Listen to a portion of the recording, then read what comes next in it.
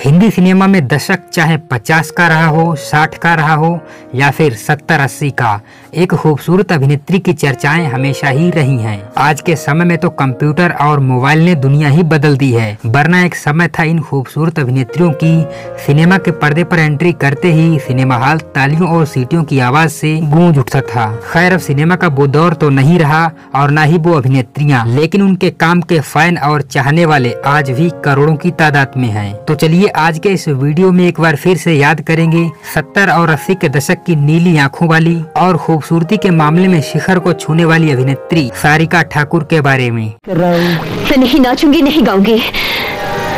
तुम्हारी कोई बात नहीं मानूँगी। नहीं? नो शेखर बाबू मैं यहाँ दया की भीख मांगने आई थी। अपनी इज़्ज़त बेचने नहीं। यहाँ तो सिर्फ़ इज़्ज़त ही दिखती है। शेखर बाबू, रुक जाइए।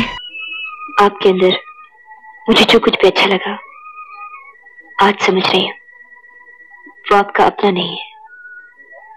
आपकी परवरिश है, आपके संस्कार हैं।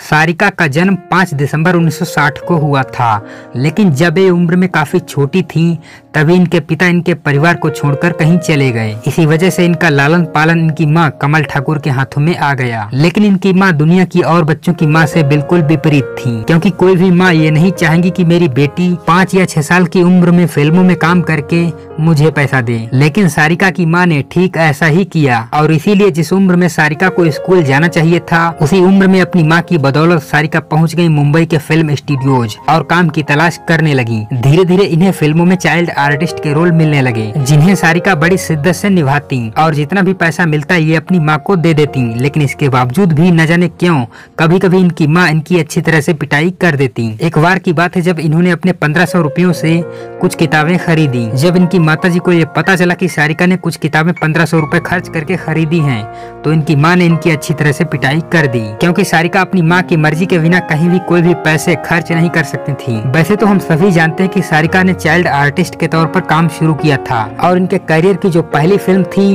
वो थी हमराज, जो कि उन्नीस को रिलीज़ हुई, जिसमें इन्होंने चाइल्ड आर्टिस्ट का किरदार निभाया था। इसके बाद इन्होंने कई फ़िल्मों में चाइल्ड आर्टिस्ट के किरदार निभाए। इसके बाद ये सन 1975 की फ़िल्म गीत गाता चल में पहली बार यंग अभिनेत्री के तौर पर अभिनेता सचिन के साथ नज़र आई। लेकिन उसी वक्त इनकी माता ने इनके जमा पैसों से मुंबई में कई फ्लैट खरीद कर इनका पूरा पैसा खर्च कर दिया। इसी वजह से सारिका बेघर हो गई ऐसा कहा जाता है की कई दिन तो इन्होंने अपनी गाड़ी में ही बिताए और अपने जीवन को आगे बढ़ाती रही। इसी बीच इन्हें पैसों की ज़रूरत पड़ी, जिसमें इनके दोस्तों ने काफ़ी मदद की। खैर धीरे धीरे ये अपने संघर्ष से उभरी और 1975 की फ़िल्म गीत गाता चल के बाद इनकी पहचान फ़िल्म इंडस्ट्री में बन गई। इसके बाद इन्होंने कुछ और हिंदी और मराठी फ़िल्मों में सचिन के साथ काम किया। सारिका का चेहरा मोहरा पश्चिमी देशों की लड़कियों की तरह दिखता था, इसीलिए इन्हें ज़्यादातर कुछ वैसे ही किरदार दिए जाते थे। इसी वजह से ये काफ़ी परेशान भी रहा करती थी। लेकिन अपने गैर भारतीय लुक के बावजूद भी कभी सारिका जी फ़िल्म में हीरोइन के तौर पर नज़र आई तो कभी साइड कैरेक्टर्स में। इसी तरह से इनकी गाड़ी फ़िल्म में चलती रही।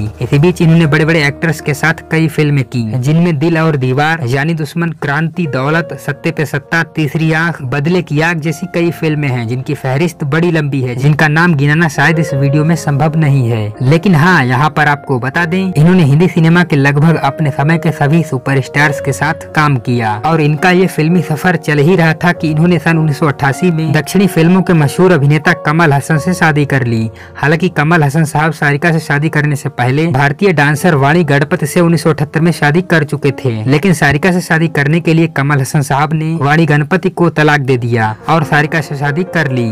आपको बता दें, कमल हसन और सारिका की बड़ी बेटी श्रुति का जन्म 1986 में हुआ था, जबकि इन दोनों की शादी 1988 में हुई। क्योंकि इसका सिर्फ़ एक ही कारण था, कमल हसन और सारिका का शादी से काफ़ी पहले से रिश्ता चलता चला आ रहा था। और फाइनली सन 1988 में कमल हसन साहब ने अपनी पहली पत्नी, वाड़ी गणपति को तलाक देने के बाद उन्नीस सौ अट्ठासी में ही सारिका से शादी कर ली। इस शादी के बाद सन उन्नीस सौ इक्यानवे में इनकी दूसरी बेटी अक्षरा हसन का जन्म हुआ। हालाँकि शादी के बाद सारिका ने फ़िल्मों में काम करना बंद कर दिया और अपने परिवार में व्यस्त हो गई लेकिन ये रिश्ता भी 16 सालों के बाद सन 2004 में तलाक में बदल गया। लेकिन इनकी दोनों बेटियाँ श्रुति हसन और अक्षरा हसन ने पिता के पास ही रहने का निर्णय किया। कमल हसन साहब से तलाक होने के बाद सारिका फिर से मुंबई आ गईं और फ़िल्मों में काम करना शुरू कर दिया। अपनी इस दूसरी पारी से इन्होंने बाबुल, तहान, ये मेरा इंडिया, जब तक है जान और सन 2016 में रिलीज़ फ़िल्म बार बार देखो में काम किया और इसके साथ ही इन्होंने टीवी पर भी डेब्यू किया, जिसमें सोनी टीवी के शो युद्ध में ये अमिताभ बच्चन के साथ नज़र आई।